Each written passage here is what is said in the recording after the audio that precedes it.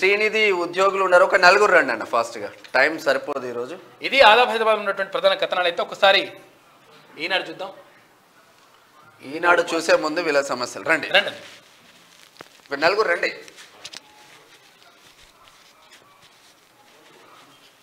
మాట్లాడే వాళ్ళు నలుగురు రండి అన్న.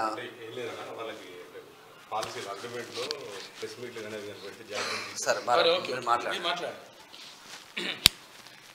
మాట్లాడండి అంతమంది ఉండేసరికి అదే, ఉన్నారు మన ఉన్నారు కానీ వాళ్ళు చెప్పండి ఉద్యోగం ఉద్యోగాలు తీసేసారు ఏం లేదన్నా మా సంస్థ అనేది రెండు వేల పదిలో సంవత్సరంలో స్టార్ట్ అయింది. ఇది మహిళా సంఘాలకి ఇంత మహిళా సంఘాలకి ఇంత ముందు మైక్రో ఇది వారాల చిట్టీలు సెర్మూలలో లోన్స్ ఇచ్చేవాళ్ళు. అలాంటి వేధింపుల ఉద్యమంలో నూట ఎనభై మంది చనిపోయిన వాళ్ళు. వాళ్ళకంటూ ఒక ప్రత్యేకమైనటువంటి సంస్థ కావాలని చెప్పేసి శ్రీనిధిని స్థాపించడం జరిగింది. ఇది స్థాపించినటువంటి ఉద్దేశం ఒక మహత్తరమైనటువంటి ఉద్దేశం. కాంగ్రెస్ గవర్నమెంట్ అప్పుడు రెండు వేల పది సంవత్సరంలో స్థాపించింది. దీని తర్వాత ఏంటి అని అంటే అప్పుడు ఉన్నటువంటి ఎండి గారే ఈ మన రిటైర్డ్ కన్సల్టెంట్ ఎండిగా కంటిన్యూ అవుతున్నాడు. ఆ రోజు నుండి ఈ రోజు వరకు కంటిన్యూ అవుతున్నారు వాళ్ళే ఏంటంటే మా మాకు సంబంధించినటువంటి ఎంప్లాయీకి సంబంధించినటువంటి హక్కులు మాట్లాడితే ఉద్యోగాల నుండి తీసేయడము. మీరు ఇది చేస్తున్నారు అది చేస్తున్నారు ఆర్గనైజేషన్ వ్యతిరేకం వేధింపులకు గురి చేస్తున్నారు. ఈ సంస్థలో రెండు వేల పద్దెనిమిదిలో ఏడు వందల ముప్పై ఏడు మంది ఉంటే ఈ రోజు మూడు వందల పది మందికి బాబు. అంటే అందరు రాజీనామాలు చేసి వెళ్ళిపోవడం ఎవరైనా గట్టిగా మాట్లాడితే వాళ్ళని టార్చర్ తీసి తీసేయడం. ఎంత ఘోరంగానంటే ఒక మహిళ రోడ్డు మీద ఇట్లా అటెండెన్స్ చేయాలి. ట్యాబ్ పట్టుకుని అటెండెన్స్ చేస్తే ఆటోలో పోయేటోడు వాళ్ళందరూ కూడా రీల్స్ తీద్దాం పిల్ల అని చెప్పేసి అని కామెంట్ చేయడం. అలాంటివి సంబంధించినటువంటి చాలా వేధింపులకు గుర్తింపు రావడం. ఇది ఇది కాకుండా దీంట్లో ఈ ఆర్గనైజేషన్లో ఒక తొమ్మిది మంది అన్న రిటైర్డ్ ఎంప్లాయీస్ పనిచేస్తున్నారు. లక్షల్లో పెన్షన్ వస్తుంది వీళ్ళకి.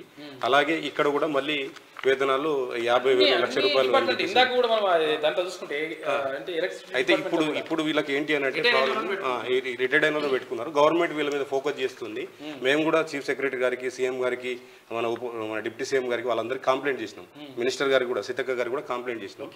దీన్ని ఉద్దేశంగా పెట్టుకొని ఏం చేస్తున్నారంటే ఒకేసారి అసలు శ్రీనిధి చరిత్రలో మన ఎంప్లాయీస్ని పిలిచి చేసింది. రేపు హాలిడే అయినా కూడా పండగ కంటే ముందు సెకండ్ సాటర్డే అయినా కూడా ఈ ఉద్యోగాలందరినీ పిలిపించుకొచ్చి మా మా సారే ఉండాలి ఇంద్రుడు చంద్రుడు ఆయన ఉంటేనే బాగుంటుంది అని చెప్పేసి అని ఓ సంతకాలు జై జై కొట్టాలని చెప్పి సంతకాలు పెట్టి పెడుతున్నారు. అది పెట్టి విద్యాసాగర్ విద్యాసాగర్ మేనేజింగ్ రెడ్డి డైరెక్టర్. విద్యాసాగర్ రెడ్డి. అలాగే దాంట్లో ఉన్న ఉన్న వాళ్ళందరూ కూడా ఉండండి అన్న. స్టార్టింగ్ నుండి ఇప్పటి వరకు రాజారావు. కాదు ఇక్కడ నిరుద్యోగులకు ఉద్యోగాలు లేకుండా బాధపడతా ఉంటే గారు వాళ్ళని తీసుకొచ్చి పెట్టుడు ఏంటంతా అయితే ఇక్కడ ఇంకొకటి ఎస్సీ ఎస్టీలకు సంబంధించినటువంటి సమస్యలు చెప్పుకుందాం అంటే హయ్యర్ క్యాడర్లో ఉన్నటువంటి డీజీఎంలు అందరూ ఓసులే అన్న చూడండి. డీజీఎంలు అందరూ ఓసిలే. మా సమస్య మేము చెప్పి చేస్తే వాళ్ళు నవ్వుకుంటారు అన్నట్టు ఎంతనంటే చాలా దారుణమైనటువంటి పరిస్థితిలో. నా కిడ్నీలో థర్టీ టూ ఎంఎం స్టోన్ అన్న. కిడ్నీ స్టోన్స్ వచ్చి చేస్తే లీవ్ పెడితే నువ్వు ఎందుకు లీవ్ పెట్టినావు? నువ్వు జాయిన్ అవుతావా లేదా? నేను జాబ్ నుండి తీసేస్తాం అని చెప్పేసాను కేవలము దయాకర్ రావు మా మంత్రి మన మా ఎండి గారు విద్యాసాగర్ రెడ్డి ఇద్దరు కలిసి ఆయనకు రెండు వేల మంత్రి మాజీ మంత్రి దయాకర్ రావు.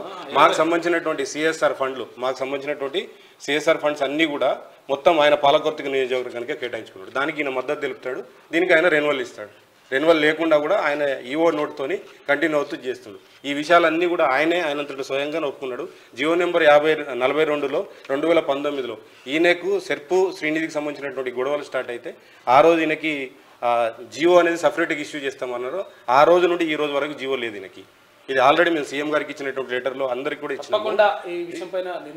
మెయిన్ ప్రధాన డిమాండ్స్ ప్రధాన డిమాండ్స్ ఏంటంటే అసిస్టెంట్ మేనేజర్ అనేది ఈ ఈ సంస్థలో ఉన్నటువంటి మూడు వందల పది మందిలో రెండు వందల నలభై మంది అసిస్టెంట్ మేనేజర్లు ఉన్నారు.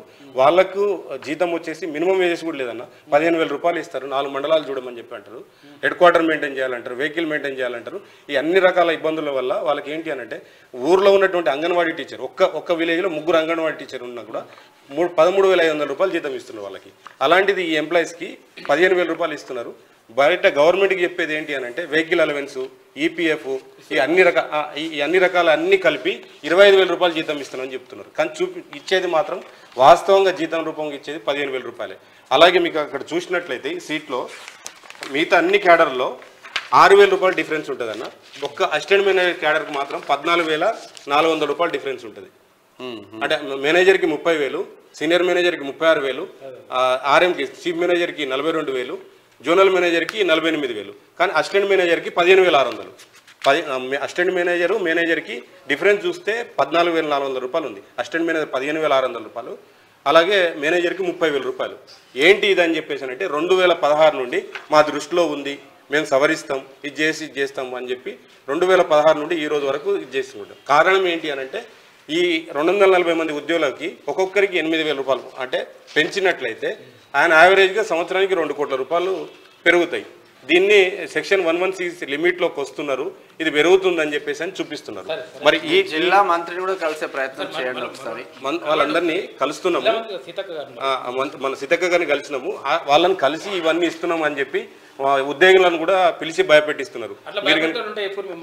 మనం మాట్లాడదాం. Thank you thank you thank you thank you